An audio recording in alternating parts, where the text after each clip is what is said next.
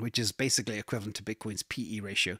It suggests right now that we are in deep value opportunity because much of the value driven by this new era of increased Bitcoin on chain utilization makes the chain, the blockchain, the network much more valuable than ever before.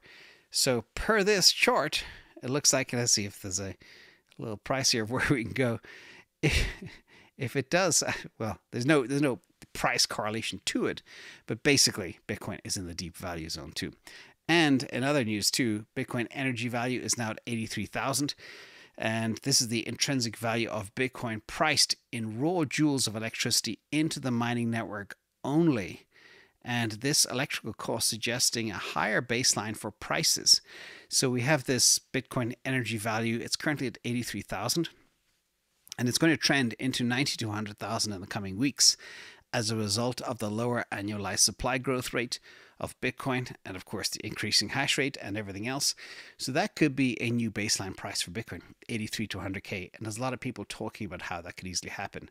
Now, in other adoption news, too, this just came out today breaking news from Jack Dorsey.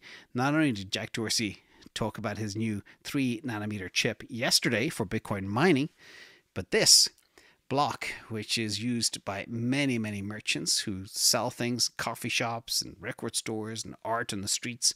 Swipe your phone, boom, basically opens up people to become merchants without all the crazy, hard, difficult credit card stuff that you need to do to get a merchant account.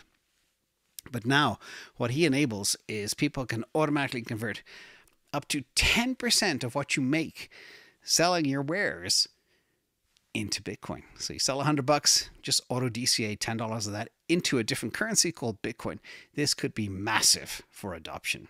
Massive. One day I'll, I'll tell you all a funny story about this, uh, of how I DCA'd back in the day.